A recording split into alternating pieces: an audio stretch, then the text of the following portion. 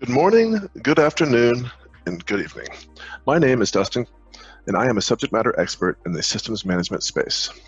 Today, I will be going over Dell Repository Manager's repositories. So let's start by defining what a repository is. A repository is a full list of bundles, so it's kind of like the graphical representation of a catalog. And a bundle is a group of updates for a particular server model and OS. And in those bundles is something called a DUP, or a Dell Update Package. And that is the actual update itself that is within the bundle. There are three main types of repositories, manual, inventory, and integration. Today we will go over manual and integration as they are the most widely used. So let's start by creating a manual inventory. Manual repository, and we're going to call this. Um, and let's say we want to do R740s and R730.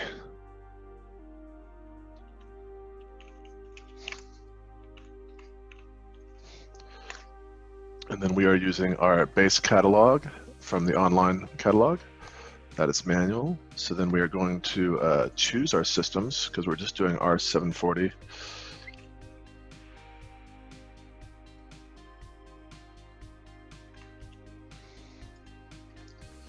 And then we have our models in here. And let's just say, uh, in this example, we want to do all operating systems. Or let's say we just want to do Linux because we know that we're only updating Linux or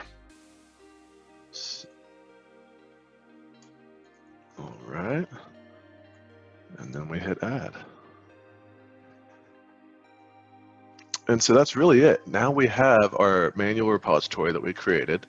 It's uh, going to look at the catalog and find what what updates are applicable for R740 and R730 with Linux.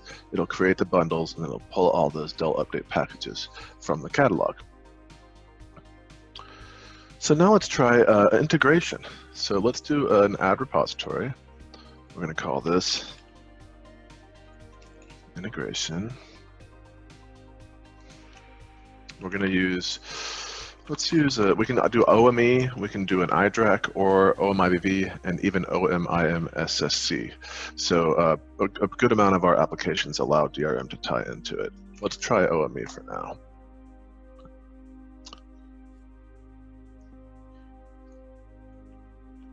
Let's see, we're going to do OpenManage Enterprise.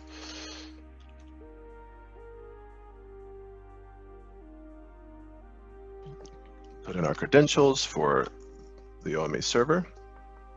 And basically what this is doing is it's going to go ask the OME server, hey, what devices do you have in your inventory?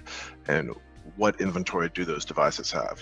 One of the benefits for using this is that you actually get a smaller footprint. You don't have to go manually pick each one. You're only going to get downloaded what you actually need. So for here, we're just going to do all devices. We'll choose add.